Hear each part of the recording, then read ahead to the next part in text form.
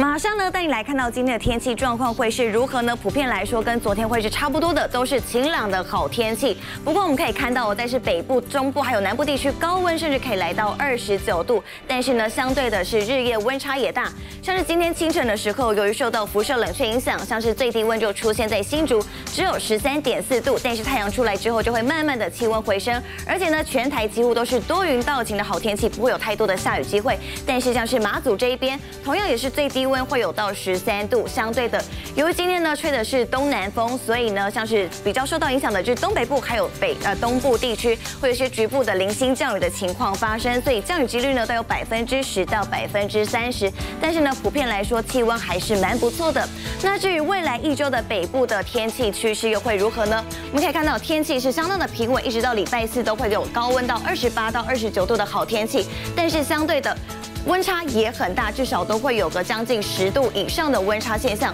但是呢，到礼拜五的时候，因为有一个封面的影响，所以呢，在北部地区的时候受到的影响比较多一点点，低温就会马上降下来，相差了大约是有七度左右。但是呢，在低温的地方呢就没有影响那么大，都要持续在大约是十七度左右。而且呢，到了礼拜六、礼拜日的时候，会有一些些降雨的情况。至于中南部的状况又是如何呢？由于呢这一波的这个冷空气，它的影响其实在集中在北部地区，所以中南部我们可以看得到，气温呢还是普遍不会落差的太大太明显，同样的高温都会有二十七到二十八度左右，而且低温呢也普遍来说是蛮平均的，所以呢在中南部的民众可能只需要多多注意说，这个气温可能变化不会太大，但是降雨机会可能全台都会有降雨的机会。那至于呢今天的空气品质又是如何呢？我们可以看得到，其实台湾哦是这个今天的天气空气品质可能是不太理想的，因为像是我们的台北还有云嘉南的地区呢，都是亮起了红灯，对所有族群都是有严重的影响。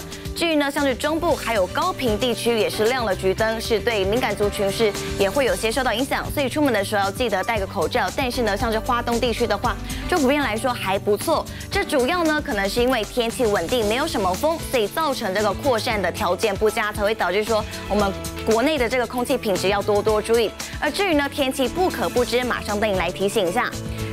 晴时多云，温差大，所以出门的时候记得多带一件衣服，不要早晚出门的时候着凉感冒了。另外呢，东半部有受到这个东北风的影响，所以会有一些零星降雨。像是东半部地区的民众出门的时候呢，虽然下雨不会影响到你的日常生活，但是最好是携带雨具，不要让自己淋到雨了。接下来还有由于最近的天气嘛，就是会因为白天的气温比较好一点点，但是海部的气温是比较低一点点，所以在西半部还有金马地区，在清晨还有晚间的时候会有。起雾的情形，甚至多云的状况，所以提醒大家，以上是今天的天气概况。